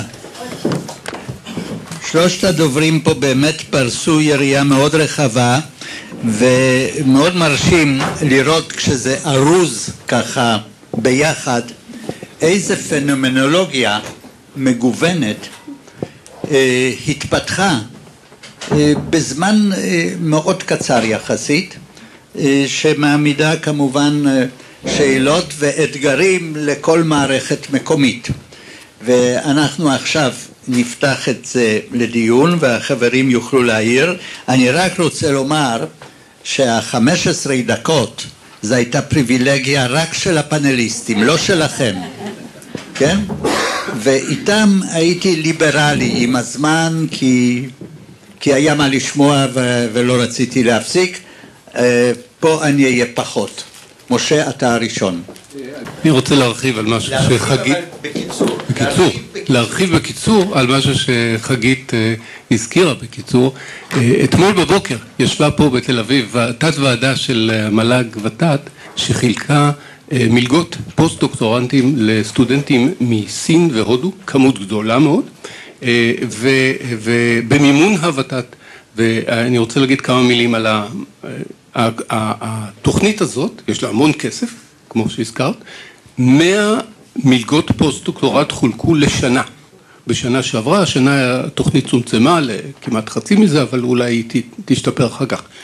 מה שאנחנו רואים בתוכנית כשהיא התחילה לפני כמה שנים, היה ברור לנו שאנחנו מקבלים אה, כמעט, רוב הסטודנטים היו second class. מי שמקבל הצעה להיות פוסט-דוק בסטנפורד והרווארד, הוא לא יבוא לארץ. אלא היו מקרים בודדים שהם באו בגלל חוקרים ישראלים מצטיינים. התופעה הזאת במשך השנים שהתוכנית הזו קיימת הולכת ומתחזקת. אתה רואה יותר ויותר סטודנטים שבאים, הם מקבלים גם הצעות בחו"ל, אבל הם באים בגלל שהם מכירים אה, חוקר ישראלי מצטיין. אה, כיום אנחנו רואים את ההעלאה המפורשת של הרמה של הפונים. בעבר היינו מקבלים הרבה פניות והיינו נותנים להם פחות מלגות ממה ש... יכולנו גם הם לא שווים את זה. היום זה בדיוק הפוך, יש לנו מעט מלגות ויותר מצטיינים. תוכנית מצוינת של המגע, המל"ג והות"ת והיא תורמת לנושא הזה המון. נכון מאוד. כן, שמי דיוויד ניומן, אני דיקן הפקולטה לרוח וחברה בבן גוריון. אמ, אני רוצה להגיד משהו על העניין הזה של הוראה באנגלית. אמ, אני לא רוצה להעליב אף אחד, אבל אנחנו מדינה ממש פרוקיאלית בנושא הזה. כמה שאנחנו מנסים לדחוף קורסים ותוכניות באנגלית בשנים האחרונות בפקולטה שלי וכל, לא רק הסיבות שאתה מציג, יש ודאי חשיבות לשמוע כמובן לשפה העברית, זה ברור, אמ, אבל העניין שבאים כל כך הרבה מרצים ואומרים התלמידים לא ירצו ולא ירשמו ויש בזה מידה מסוימת של אמת, הם רואים שהם יוצאים קורסים לפעמים באנגלית ואז בהתחלה זה עניין של הרגל כמובן וצריכים להתמיד בדבר הזה וזה גם כמובן מונע מסטודנטים טובים מחוץ לארץ לבוא גם אלינו, משום שאם אה, אין את האפשרויות ללמד בשפות אחרות, אז, אה, אז ודאי לא יבוא אלינו, למרות שאנחנו מתעניינים כמובן יותר שיבואו תלמידי המחקר, אולי יותר מתלמידי תואר ראשון. אמ, וזה קשור במידה מסוימת בעניין של סטנדרטיזציה. אמ, אני כאן קצת חסוי, משום שאני חושב שהרגולטור בשנים האחרונות הפך להיות ריכוזי וכוחני מדי. אני חושב שצריך להחזיר קצת של כוח ההחלטה לאוניברסיטאות עצמם, אבל צריך למצוא את הבלנס המתאים, משום שכאן אני חושב שיש דברים שאסור לנו להתחרות אחד עם השני. יש דברים, אנחנו כולנו רוצים את התלמידים הכי טובים, ואת המרצים הכי טובים, ותאמינו לי שאני רואה שמי מגייסים היום, there's enough to go around לכולם, ככה אני לפחות מתרשם. אבל לפעמים אנחנו מתחרים על כל דבר, ויש דברים מסוימים שאנחנו באמת חייבים לשאוף לסטנדרטיזציה, משום שאם שני מוסדות ילכו חזק לעניין של הוראה בשפות אחרות ואחרים לא ואז יש תחרות על מספר תלמידים משום שמודל ות"ת קובע מימון. כלומר הכל קשור בכל כאן. וצריכים למצוא את האיזון המתאים כאן אם אנחנו חושבים שזה חשוב כפי שכולם אמרו כאן ואני בהחלט מסכים איתם שאם אנחנו לא חלק מהגלובל גיים היום אנחנו לא שם בכל הרמות מהוראה ועד מחקר אז אנחנו צריכים גם אצלנו לעשות יותר מאמצים להפוך את התנאים, כולל ההוראה באנגלית, ליותר נגישים לכולם. תעביר את זה לאורי. אורי קירש. אני רוצה לומר כמה מילים בנושא שהדוברים הזכירו, הנושא של הקורסים ההמוניים, מוקס. אני בשנה האחרונה התוודעתי לנושא עשיתי עבודה גדולה במסגרת מוסד נאמן, הנושא הוא מרתק ואני לא אפתח אותו כאן, אני רק רוצה לומר שקודם כל הוא קשור לסטודנטים ולא לחוקרים, מדובר על הקורסים המקוונים שהתחילו אוניברסיטאות עילית אמריקאיות, הרווארד, סטנפורד ואחרות. לפני שלוש-ארבע שנים הוא נמצא בכותרות בארצות הברית ובמדינות אחרות, אצלנו קצת פחות. נושא מרתק וכשהתחלתי ללמוד את הנושא הופתעתי לקרוא בתחילה במאמרים מלפני שנתיים ושלוש שפרופסורים מכובדים מהרווארד ומסטנפורד חזו שתוך עשר שנים יישארו רק עשר אוניברסיטאות כולם ילמדו לימודים מקוונים. מאז הדברים קצת השתנו אבל אין ספק אני לא יודע אם הדבר הזה יוסיף לניידות או אולי להפך. לאור הדבר הזה אולי תהיה פחות ניידות של סטודנטים, אבל פחות ניידות פיזית, אבל זה נושא מרתק שאין ספק שהוא הולך, אמנם חשבו שזה יהרוס את כל האוניברסיטאות, זה כנראה לא יקרה לשמחתנו, אבל דברים אחרים כן יקרו ואני חושב שזה נושא שיהיה לו תפקיד מרכזי, אמנם האוניברסיטה הפתוחה כבר הרבה שנים עוסקת בהוראה מקוונת, אבל זה משהו לגמרי אחר ויש פה נושא מאוד מרתק ואני מציע לשים את תשומת הלב בכיוון הזה. שמי משה גולדברג, מתמטיקה מהטכניון. רציתי להגיד כמה דברים. קודם כל בקשר למה שנאמר עכשיו, לקורסים האלה הפנטסטיים שנמצאים באינטרנט וכל אחד יכול לגשת אליהם. אני לא חושב שזה מחליף הוראה פרונטלית טובה. אני חושב שבסופו של דבר הוראה פרונטלית טובה זה דבר שאין לו תחליף, וכשהפרופסור שלך זה אדם בעל שיעור קומה ואתה אפילו רק מסתכל עליו, אתה אפילו רק נהנה מהג'סטר שלו, מהבדיחות שלו, מהצורה שהוא מתאר דברים, מהצורה שהוא כותב על לוח, אתה מרוויח דברים שאתה לא מקבל באופן אבסטרקטי מהוראה באמצעות קורס, אבל חשוב מאוד להיזהר ולהדגיש שהקורסים האלה מאוד חשובים, הם ניתנים לעיתים קרובות על ידי אנשים מצוינים, לומדים אספקטים שונים וכבודם במקומם עומד, אני בשום פנים ואופן לא רומז שאין להם מקום. בקשר לאקרדיטציה, יש לי ביקורת מאוד מאוד קשה על הרגולטור.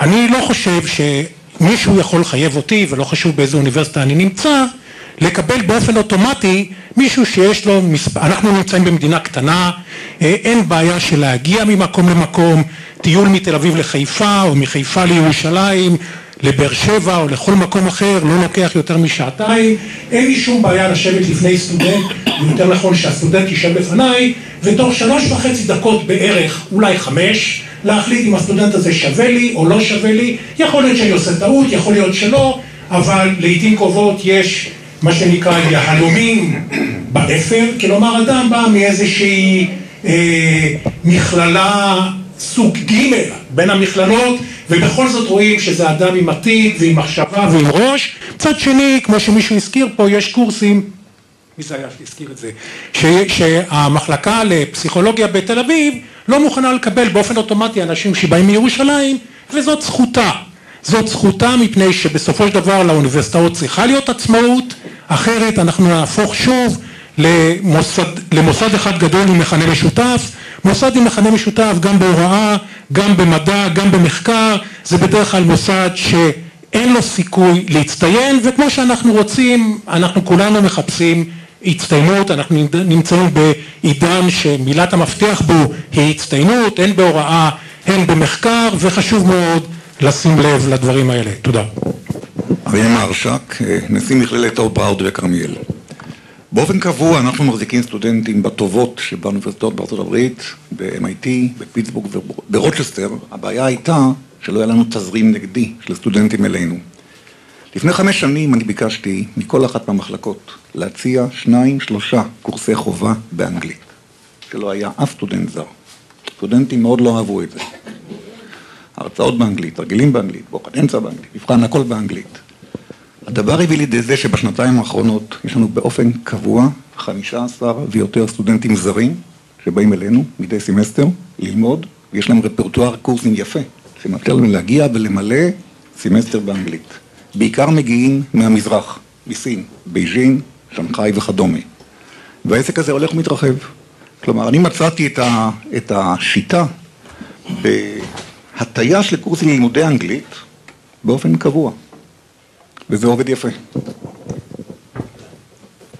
רות ברמן, פרשנות אוניברסיטת תל אביב. אז לפני שאני אדבר על העניין המקצועי של השפה, בעניין קורסים מקוונים, הייתה לא מזמן פגישה של כל המורה הכלים משולבים פה באוניברסיטת תל אביב, הנושא של הוראה מקוונת היה הנושא המרכזי של כל הדיון ומי שמתעניין אז כדאי יש מישהי אחת שעובדת ליד סגנית הנשיא שהיא אני, הרקטור שהיא אחראית לנושא של כלים שלובים פה באוניברסיטת תל אביב והם עוסקים בנושא הזה עם כל החסרונות שאתה העלית וגם היתרונות הם ממש uh, מכוונים לזה מקוונים לזה. באשר להוראה באנגלית זה מאוד בעייתי, אני כן מסכימה ולא מסכימה, כל השנים למרות המבטא ולמרות המקצוע אני מאוד התנגדתי להוראה באנגלית, אבל ככל שהסתובבתי בעולם אני רואה את ההבדל העצום במקצוע שלי ובתחום שאני עוסקת בו בין אלה בצפון אירופה, ההולנדים, הסקנדינבים, גרמנים, לעומת גם התלמידים וגם אפילו העמיתים באיטליה, ספרד וצרפת, כי שם הם לא מפרסמים באנגלית, הם לא מלמדים באנגלית, אין להם חשיפה באנגלית. בארץ לדעתי הבעיה והדבר שהכי מבדיל בין המכללות לבין האוניברסיטאות שאתה לא יכול במכללות לתת חומר קריאה באנגלית אני חושבת שהבעיה נעוצה לא רק בהוראה, בשפת ההוראה, אני מאוד בעד זה שלפחות בתואר הראשון ההוראה כן תהיה בעברית, אני חושבת שזה מגיע לתלמידים שלנו, כשהם עוברים מהצבא ומהתיכון מהצבא, שמגיע להם באנגלית, בשפה שלהם ללמוד, לפחות בתואר הראשון, אני חושבת שצריך להפריד פה בין שפת ההוראה שפת הקריאה ושפת הכתיבה של התזות, בוודאי ובוודאי לתואר השלישי חייבים באנגלית כי אחרת, ושוב מהמקצוע שלי אני רואה תלמידים מצוינים שכותבים בעברית את הדוקטורט שלהם, אין להם חשיפה לשיפוט לא in-house פה בארץ. ואני חושבת שכדאי וצריך, חשוב שהמל"ג תנקוט איזה אני, הרגולציה היא בעייתית, אתה אמרת את זה ואת בוודאי יודעת את זה, כולם לא אוהבים רגולריזציה יותר מדי, אבל בעניין של מדיניות לשונית אני חושבת שכן צריך לתת את הדעת על הדבר. תודה. מרים פאוסט, אני הרקטור של בר אילן. אה, אנחנו אה, בכיוון של להגביר את הפעילות הבינלאומית ופתחנו משרד בינלאומי לאחרונה ואני מקווה שבקרוב יתחיל לפעול יותר, למרות שכמובן יש לנו כמה מאות סטודנטים. אני חושבת שאחד הדברים שנראים לי מאוד מסובכים ואולי אפשר לעשות פעולה בקנה מידה גדול יותר ברמה מל"גית, אה, ות"תית ואחרת, זה כל הנושא של מערך השיווק והפרסום. היות ויש באמת חשיבות עצומה, היינו לפני כשבועיים, חוץ מהחשיבות המובנת מאליה, לפני שבועיים היינו בכנס של ורה בירושלים, שבו דובר על החרם הבינלאומי, זה הוזכר כאן קצת, ועל הסכנה היום שהביאו כמה מומחים לנושא מארצות הברית, שגם בארצות הברית אה, אנשים מתחילים לחשוש שבקורות החיים שלהם יופיע שהם בילו בישראל. אין חברי סגל ואין סטודנטים, כך נאמר במפורש אה, על ידי כמה אנשים שמתמחים בנושא. אה, אז, אז זה צד אחד שהוא כמובן מאוד בעייתי, אבל מעבר לזה, כל הבנייה של מערך שיווק ופרסום אה, ברמה בינלאומית עם פריסה רחבה של לבוא לישראל, מה יש לישראל להציע, בעיניי זה אחד הדברים שנראים לי מאוד מאוד מורכבים, ופה אם היה אפשר לקבל עזרה זה היה יתרון עצום. אני בועז כץ, כן, כן. בועז כץ ממכון ויצמן, הרגע חזרתי, האמת היא, מארצות הברית. הצטרפתי לפקולטה. אז אני רק רוצה להגיד משהו, א', שהוא לא הוזכר. יש לנו מנגנון, לפחות במדע, שמכריח אותנו לבלות שנים בחו"ל, שזה מנגנון פוסט-דוק. אה, עכשיו אני רוצה להגיד שבמקביל לזה שכבר יש בעצם מנגנון כזה שאני חושב שהוא מאוד טוב, לגבי, אולי היה צריך כבר קודם לשלוח, אה, נגיד לעשות דוקטורט או משהו כזה, אה, קודם כל אני רוצה להגיד שכשאני בארצות הברית, לפחות בתחום שלי, ואני מסתכל על ההצלחה של דוקטורנטים ישראלים, היא פנומנלית.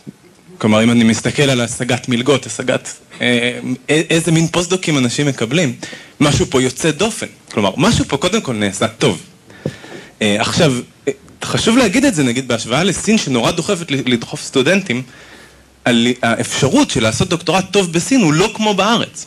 להם יש אינטרס מאוד חזק לדחוף סטודנטים החוצה, אנחנו צריכים להיזהר מההשוואה הזאת. ראיתם באירופה, אחד האינטרסים זה להתחרות עם אמריקה. כלומר, חלק, זה שאנחנו מסתכלים ואומרים זה מאוד טוב שסטודנטים יוצאים לחו"ל, צריך גם להסתכל שנייה מה המוטיבציה. פה כנראה יש סיבה מאוד טובה לעשות דוקטורט פה. אם מישהו ישאל אותי, סטודנט ישראלי, אני אגיד לו, תעשה דוקטורט בארץ. ואם אתה רוצה להמשיך במדע, אני מקבל את העניין הזה שחשוב לעשות פוסט-דוק בחו"ל, אבל לא בטוח שכדאי לרוץ ולדחוף. מה התחום שלך, תגיד רק? פיזיקה, אסטרופיזיקה. ובכן, אה, מה שנעשה עכשיו, אנחנו נבקש מחברי הפאנל אה, להגיב, להוסיף. עוד חמש דקות יש לכם, שבע דקות אם, אם תתעקשו, ואחר כך אני אסכם בקיצור ונתפזר להכין את השבת. כן. מיקרופון. אה, אני רוצה פחות מחמש דקות, רק שתי הערות להעיר. אני מאוד מתנגדת למה שאתה אמרת, שחלק מה... חלק מהביטוי של החופש האקדמי זה שכל מוסד יכול להחליט. כשעושים הרמוניזציה של תארים, שאני מדברת על הקרדיטציה, זה בשום פנים ואופן, לא בארצות הברית ולא באירופה, אומר שאתה אוטומטית מקבל כל תואר או כל נקודה. אבל אתה יודע על מה מדובר. כיוון שהמערכות הן כל כך שונות, ב-2015 השנה, זו השנה שהם הצהירו באירופה, שמי שלא יבוא להם עם uh, כל התנאים של תהליך בולוניה, עם ה-European Credit Transfer System, שיגידו בדיוק כמה הקורסים, ועם תיאור של מערכת ההשכלה ואיפה המוסד שלך יושב בתוך מערכת ההשכלה, ועם uh, Learning Objects, לא יקבלו בכלל, יש להם, יש להם זכות לא לקבל, לא להתייחס בכלל, גם לסטודנט מצטיין לתעודות. אנחנו אנכרוניסטים בקטע הזה בארץ, חד וחלק, אנכרוניסטים. זה שאתה תקבע כללים כמה שווה שעה סמסטריאלית, גם אפילו השפה שאנחנו משתמשים, ש"ס ונ"ז וכל מיני דברים, לעשות האחדה ושיהיה ברור שמי שלומד באוניברסיטה העברית או בטכניון או בכל מקום, כמה זה שווה במקום אחר. אחר כך שיקול הדעת, ודאי שיש שיקול דעת, זה לא, זה לא הכרה אוטומטית, אבל אין ספק שאנחנו צריכים לעשות את זה, לדעתי. דבר שני, וכאן באמת אפשר לעזור אם יעשו איזשהו לגבי השילוב של סטודנטים בתוכניות שהם כן יוצאים של אה, תוכניות בטמפוס וארזמוס. אני יודעת שהבן שלי כשלמד תואר ראשון באוניברסיטת בן גוריון, אז אני אמרתי לו למה שלא תעשה סמסטר באיזושהי אוניברסיטה במסגרת התוכניות האלה. הוא גילה שזה לא שווה, משום שלא יחשיבו לו את זה כחלק אינטגרלי מהתוכנית, אלא יגידו לו תלמד עוד חצי שנה של התואר. אז מה הוא הרוויח בזה? אז הוא הרוויח חוויה, אבל התואר שלו יתארך כמעט בשנה. אה, זה לא... חלק מהתנאים של התהליך בולוניה זה בדיוק זה, שאתה תשלב את זה בתוך התואר וזה לא קיים. וכאן אין ספק שיש הרבה עבודה מה שצריך לעשות, הרבה פחות מחמש. אה, אני מסכים לגמרי עם מה שאמרה שרה, רק עוד אה, שתי הערות. אה, אחת, כדי שלא להסכים עם רות. רות אמרה, הם אחרי תיכון וצבא, מגיע להם ללמוד בעברית בתואר הראשון, ואני אומר שהסטודנטים שלנו באוניברסיטאות המחקר מגיע להם ללמוד גם חלק מהקורסים באנגלית באופן שיצייר אותם בארגז כלים טוב יותר להשתלבות בשוק עבודה שהופך להיות יותר ויותר אה, אה, גלובלי. זה אה, דבר אחד. לגבי הקורסים המקוונים, אין כוונה בשום מקרה לוותר על אותו מגע בין איש הסגל לבין הסטודנטים. להפך, הכוונה היא להפוך את המגע הזה להרבה יותר משמעותי, כלומר לפנות חלק מכוח ההוראה לקורסים קטנים יותר שבהם יש דיאלוג משמעותי. אה, אני ממש אה, מרגיש לא נוח עם הדימוי העצמי שלנו של rockstars אה, שעומדים על הבמה ועצם זה שצופים בנו איך אנחנו כותבים על הלוח, בזה אנחנו מאשרים את הסטודנטים. אה, אולי. אני ממש אה, לא בטוח, אולי בהנדסה, בהיסטוריה, אני בטוח שלא. כן, אז על זה אני יכול לומר. היו לי קורסים של מאות סטודנטים, אה, אני אה, די מפקפק במשמעות שיש להם. לעומת זאת, בסמינרים שלימדתי, אני רוצה להאמין שעשיתי הבדל לסטודנטים, ושלא מעט תלמידים לשעבר שלי שהם אנשי סגל בארץ ובעולם, יזכרו את הסמינרים האלה, לאו דווקא את זה שעמדתי בגילמן 144 ו- ו- ואנשים ישבו גם על המדרגות כי לא היה מקום על הכיסאות, זה טוב לדימוי העצמי שלי אולי, אבל אני לא בטוח עד כמה זה טוב בהכשרה שלהם. אנחנו רוצים להרחיב משמעותית את הקורסים המקוונים, חושבים על, בהדרגה שכל השנה הראשונה תהפוך לסוג כזה של קורסים מקוונים עם מפגשים אה, אה, שילוו אותם אה, עם אנשי הסגל, אבל אז המפגשים הם באמת להעלות שאלות. המפגשים הם כדי לדון, לא כדי במרכאות להעביר את החומר, ולעומת זאת בשנים ב' וג' באמת להרחיב את מספר הקורסים שהם קטנים יותר ולכן הם משמעותיים יותר. גם ברור לנו לגמרי שאי אפשר להחליף את החוויה של הקבוצה הלומדת באופן הפיזי. היה פה בן נלסון אה, הבן של נתן נלסון, איש הסגל שלנו, שהוא הקים את אוניברסיטת מינרווה. אה, זו אוניברסיטה שהיא אה, אונליין, אבל יש לה גם קמפוסים פיזיים. כלומר, הם הבינו מלכתחילה שאי אפשר לתת תואר ראשון מקוון, שתהיה לו משמעות, מבלי שיהיה גם מגע פיזי וחברתי מבין הסטודנטים. אולי נבהיר, במינרווה סטודנטים במקום אחד, והמרצים מגיעים... המרצים הם... נכון, נכון, נכון, נכון. אנחנו לא הולכים לכיוון הזה כאן בשום פנים ואופן, אה, אה, אבל אה, אני חושב שאפשר לעשות היום, והדור הצעיר מצפה שנעשה היום שימוש בטכנולוגיות שהוא יותר, יותר מתקדם ממה שאנחנו עושים ברוב הקורסים עד עכשיו. עכשיו יש לי שניים. האמת שכמו תמיד כשדנים בענייני השכלה גבוהה מתחילים מנושא אחד ומגיעים למיליון דברים אחרים. הדיון על המוקים היה מאוד מעניין אבל לא בהכרח אה, רלוונטי אה, לניידות ויש כאן אה, בקהל הרבה אנשים שמומחים בנושא ושתקו, יכול להיות שמומלץ לבשאר לעשות דיון מיוחד על הנושא הזה, זה נראה לי רלוונטי. אז הנה את יורם אתה מכיר? יורם הוא האיש החשוב להם. אחד מהם. אמ, אבל אני כן רוצה להתייחס אה, לכמה נקודות גם אם הם לא במרכז הדיון. הסיפור של האנגלית חברים וחברות אם דיברנו על ניידות ודיברנו על ניידות בינלאומית לשני הכיוונים אין ספק שהאנגלית היא אה, צוואר בקבוק ואין ספק שערכית אם אנחנו מדברים על רמה אקדמית גם בלי ניידות הצורך לקרוא חומרים אה, בינלאומיים אנגלית הוא הכרחי זאת אומרת זה אחד מהדוגמאות שידיעת אנגלית במהלך התואר זה ווין ווין ווין זה גם אה, נכון לניידות אבל זה גם חשוב לעצם קיומו של התואר.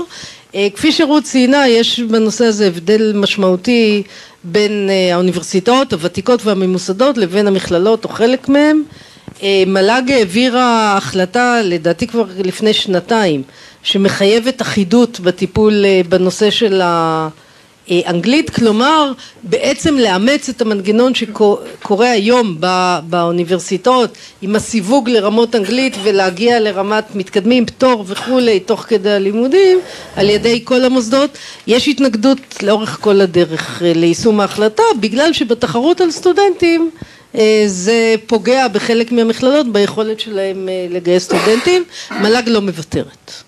אה, וזה חשוב, אבל זו אמירה שהיא חשובה, הנושא של הגלובליזציה בנושא הזה הוא נושא שלא זה העיקר, העיקר כאן זה באמת להבטיח את הרמה האקדמית, אבל זה, זה באמת לא פשוט.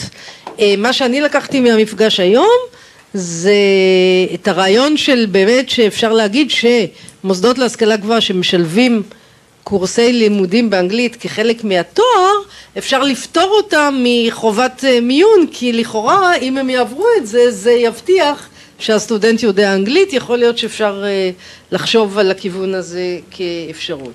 אה, עוד נקודה שהעלתה מירי לנושא של עזרה בשיווק אני שמחה לבשר זה לא סקופ כי זה לא היה סוד אבל עובדים עכשיו במל"ג ות"ת להכין אתר שנקרא study in Israel שיכיל את כל המידע לאנשים בכל העולם על האפשרות ללמוד uh, בישראל על קורסים שניתנים uh, באנגלית כל המוסדות שיש בהם את זה תואר ראשון, תואר שני, תואר שלישי, זה, זה, זה, זה לא פעולה אקטיבית של שיווק, לפחות זה אה, מאפשר למי שמתעניין להגיע למקור אינפורמציה. אה, אפרופו סין, סליחה שאני מזכירה את זה, זה עוד הכל טרי, אה, בסין יש אתר סיני גדול מאוד שעד לא מזמן לא ייצג מידע על ישראל. בפעולה מאוד משמעותית דווקא של אה, השגרירות שם הכניסו לתוך האתר הסיני מידע בשלב זה על האוניברסיטאות שמלמדות אה, באנגלית בישראל אבל יש הסכמה להכניס אה, מידע גם על מכללות שמלמדות באנגלית ואנחנו דרך המל"ג נדאג גם לזה. נאמרו כאן כמה דברים על הנושא של אחידות ורגולציה קודם כל רק שיהיה ברור אני תמיד אומרת ש, שהמל"ג הוא הרגולטור הכי משונה בעולם כי הוא רגולטור שחובתו לפי חוק לדאוג לחופש של אלה שהוא רגולטור שלהם, כן? שזה על פניו אה, סוג של אה, סתירה, אבל אה, באמת החוק מחייב את המל"ג לדאוג לחופש האקדמי ולחופש הפעילות של המוסדות, אבל יחד עם זאת, וכאן אני מסכימה לגמרי עם שרה, יש דברים שאני קוראת להם כלים, זה לא דווקא אה, רגולציה מקבילה, אלא הרמוניזציה, ולכן אנחנו משתמשים במונח הזה, זה כללי משחק שאנשים יבינו איפה הם חיים. יש מקומות שהקורסים הם קורסים גדולים, יש מקומות שהם קטנים, ברור שאם אין הרמוניזציה, אז זה, זה מפריע מאוד לסטודנטים לעבור ממוסד למוסד, כאן הוא למד קורס כזה, מה ה equivalent לו בקורס אחר בארץ, בחו"ל, ואם אנחנו רוצים את האפשרות הזאת לניידות, אז כן נכון ש, שתהיה אה, הרמוניזציה, זה לא התערבות ואומר אתה חייב לקבל כזה או אחר, אבל זה כן הסדרת אה, כללי המשחק, ואני חושבת שזה חשוב, עד היום המל"ג, אה, כפי שנאמר, לא החליטה החלטות אה, מחייבות בהקשר הזה, ונכון גם שזה אינטרס של המוסדות שהם יעשו את זה בעצמם, אם הם באמת רוצים את הניידות כחלק מהנושא. ו, ולכן אני, אני שמה את זה באותה נקודה שאמרתי קודם, אני באמת חושבת שמל"ג ות"ת לנושא שעליו אנחנו מדברים היום של ניידות, הם יותר פסיליטייטור מאשר רגולטור. זאת אומרת, אנחנו צריכים לפתוח חסמים בנושא הזה, ככל שאתם בעבודת שטח שלכם ואתם עושים את העבודה. רואים אותם? תפנו אלינו ואנחנו ננסה לסייע בחסמים. אז יש חסמים שאני לא בטוחה שהם חסמים אני חושבת שרענן הזכיר את זה. אה, היום אין שום החלטה מל"גית שאומרת כמה מהלימודים אתה צריך לעשות במוסד בשביל שהמוסד יוכל להעניק לך תואר. זה לגמרי החלטה של המוסד עצמו רוב המוסדות יש להם החלטה כזאת, אני מכירה תקנונים בטח מתל אביב או ממוסדות אחרים שאומרים לפחות שליש או לפחות חצי אתה צריך לעשות אצלנו בשביל שאנחנו נעניק לך תואר אבל זו החלטה של המוסד, מל"ג לא הכתיב את זה. השאלה האם מל"ג צריך להכניס כאן רגל כן או לא, אני מוכרחה להגיד שבדיונים פנימיים שהיו לנו בשנה האחרונה, אני אמרתי איפה שעוד לא עולה צורך, בינתיים כשכולם מתנהגים באחריות, בסדר, אבל אתה יודע, תמיד uh, צריכים לחשוב uh, צעד אחד קדימה. הערה לבועז, ההערה על פוסט היא, היא מאוד נכונה, אבל יש לנו 300 אלף, 313 אלף סטודנטים uh, בשנה, ברגע נתון בישראל, כמה מתוכם עושים פוסט? כמה מתוכם יגיעו לפוסט? לא, אולי מאות. אולי מאות. נכון, לא, אבל כשמדובר על גלובליזציה, מדובר על נושא שהפוסט מתקשר למחקר. ואני מסכימה איתך, באמת ההישגים שלנו במחקר, בפוסט, בדוקטורנטים מדהימים, ואני כמוך ממליצה לסטודנטים, תעשו את הדוקטורט בארץ, תעשו את הפוסט בחו"ל. אבל, אבל הפן, הפן, הפן התרבותי שרענן דיבר עליו, הערך המוסף של סטודנט, גם אם הוא לא הולך להיות חוקר, מגיע אליו מעצם האינטראקציה. בעולם הזה, ב-2015, עם סטודנטים זרים שבאים אלינו, עם תקופה שהוא חי במקום אחר, זה דבר שחייב להיות בכמויות הרבה יותר גדולות מאשר אותם אלה שמגיעים לפוסט. אני חושבת שזה המוקד של הדיון היום בשני הכיוונים, גם בלהביא אלינו וגם בלהוציא סטודנטים החוצה. תודה רבה. אה, כמה מילים של סיכום. קודם כל אני לגילוי נאות אה, בעשר, שתים עשרה השנים האחרונות כל קורס שאני נתתי היה באנגלית, זה לא היה בבוגר אבל, בין אם היה שם אה, מישהו מחוץ לארץ ובין אם לא. אז זה דבר אחד. הדבר השני לגבי הדיון, אה, כבר אמרתי כמה הדיון אה, כאן אה, והצגת הדברים אה, היו מעניינים. אה, יש פה מערכת שלמה שהתפתחה. אה, מה שאני מתרשם, גם מהדיון עצמו וגם ממה שאני עוד קצת רואה במערכת, כי אני כבר מזמן לא בתפקידים ש... לא שמשפיעים ולא שיודעים כל מה שקורה, אני מתרשם שהמערכת כולה, גם הרגולטור, אבל גם אה, האוניברסיטאות עצמן, לוקחות מאוד ברצינות, מטפלות מאוד ברצינות ואפילו בהצלחה לא מעטה בניידות הבין מדינתית ובעניין שמתבקש או נובע מהגלובליזציה. אני מתרשם באותה מידה ואני מופתע מזה שהמערכת בתוכה לא כמעשה של רגולטור כופה לא, אמ, לא התייחסה באותה רצינות לשאלה של ניידות בין, אה, בין מוסדית בארץ. אז יש לנו הסכם שהוזכר, שאני זוכר אותו, אני בירכתי עליו לא פעם, בין כל האוניברסיטאות והאוניברסיטה הפתוחה. אה, אין דברים דומים במערכת כולה, כמובן כל, כל תלמיד שרוצה לעבור נשקל, נשקל לגופו, אבל נדמה לי אנחנו הקמנו פה מערכת של שני רבדים. בתוכנית האסטרטגית למדינת ישראל שנקראת 2020, כן, יש בסעיף על השכלה גבוהה, יש אפילו רעיונות על הוספת רובד נוסף למערכת כזאת, מעין מערכת קליפורנית שעל פי שלדון לא הייתה מתקבלת היום, אבל ישנם רעיונות כאלה. גם היום, ולדעתי אם בכלל חושבים על רעיונות כאלה, צריך באותו, באותה מידה לחשוב יותר ברצינות אה, על ניידות ומה, ואפשרות מעבר, מסלולי מעבר בין המוסדות ובין הרבדים השונים. וזה לא קרה עד עכשיו במערכת שלנו, אולי המציאות תכפה את זה עלינו. אה, ובזה אני מסיים, אני מודה לשלושת חברי הפאנל, אלה אה, שבאו מהמשרד על יד ואלה שהגיעו במיוחד מסין ושבת שלום.